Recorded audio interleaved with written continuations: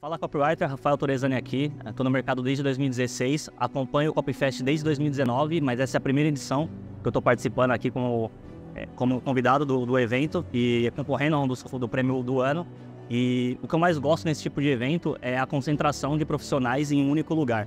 Então, se você é copywriter, eu acho que o, o local para você estar tá é estar tá aqui para poder expandir a mensagem que a gente tem para levar para o mundo, né? Se a gente quer que o mercado é, cresça, que a gente seja valorizado como profissional, é nosso papel é, fazer esse ambiente crescer e fazer o evento crescer como um todo também. Os conteúdos foram muito bons, práticos para o copywriter, para você fazer um negócio, para você prestar serviço, e o ambiente, você fazer contatos, amigos, negócios. É um ambiente perfeito para você crescer como profissional e como pessoa. Se você pensa em participar de evento, eu acho que não, não tem que parar de pensar, tem que começar a agir e estar tá no ambiente e fazer contatos que vai te ajudar a crescer na sua vida e na sua carreira.